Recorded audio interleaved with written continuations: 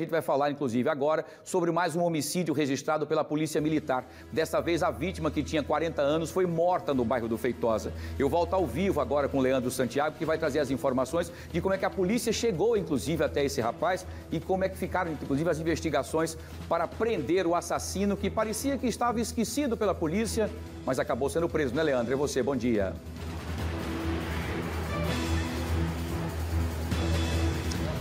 Wilson, muito bom dia para você, bom dia para todo mundo. A polícia está investigando esse caso. A gente está exatamente no local onde, segundo a polícia, aconteceu o crime, na frente da, na, no caso, na Avenida Governador Lamenha Filho, na frente de uma, de uma garagem de uma empresa de ônibus. O homem, identificado como Robson Ailton da Silva, de 40 anos, a polícia foi chamada na noite de ontem para atender essa ocorrência. Encontrou o corpo do Robson dentro de um automóvel.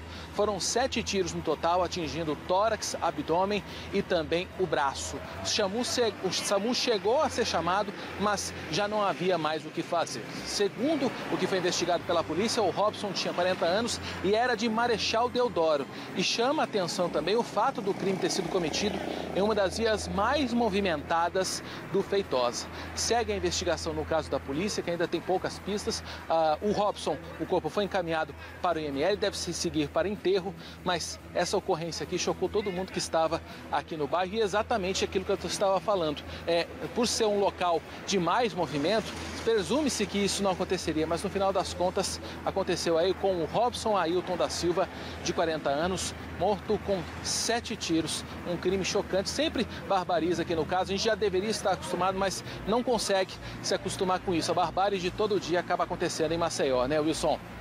Infelizmente, meu querido Leandro, Leandro Santiago, por essas informações importantes da prisão dele, né? Mas a forma e a frieza. E me parece que tudo isso causado por uma simples discussão de trânsito, né?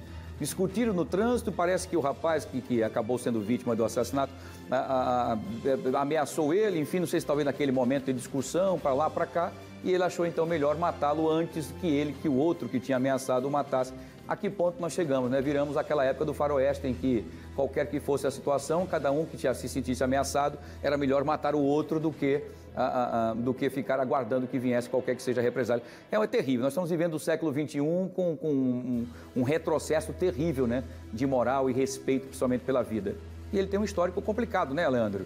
Esse rapaz que foi preso já tem passagem por tráfico e outras coisas mais aí. E a gente espera agora que ele fique durante muito tempo atrás das grades e que pague pelo erro que cometeu. Obrigado, Leandro. Você volta daqui a pouquinho com mais detalhes e mais informações aqui no nosso fenômeno Fique Alerta, tá?